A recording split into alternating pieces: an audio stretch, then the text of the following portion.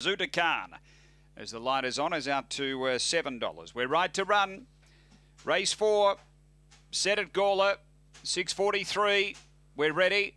On their way. And uh, stepping cleanly out deep, Staunch Jazz is pushing over hard. It got down to lead. So Staunch Jazz away by three in the early part, of lap out. Thermal Strike second, Steve keeping the inside, and Zazuta Khan last of all. They swing to the back. Leader is Staunch Jazz, is out by two and a half. Over Steve keeping a length back, Thermal Strike, and a length and a half, Zazuta Khan. They race down the back, Staunch Jazz being tackled by Steve keeping now. A length and a half, Thermal Strike running home really strongly. Then came Zazuta Khan, but Thermal Strike's rushed up to the lead. Staunch Jazz keeps lifting, then Steve keeping, but getting the upper hand. Thermal Strike from Staunch Jazz, and Thermal Strike goes on to win. Staunch Jazz second, Steve keeping third. Fourth and last was Zazuta Khan. The run is around 38 seconds. After the running of race number four and uh, Thermal Strike, just uh, too powerful. He was up and around them and uh, getting past them.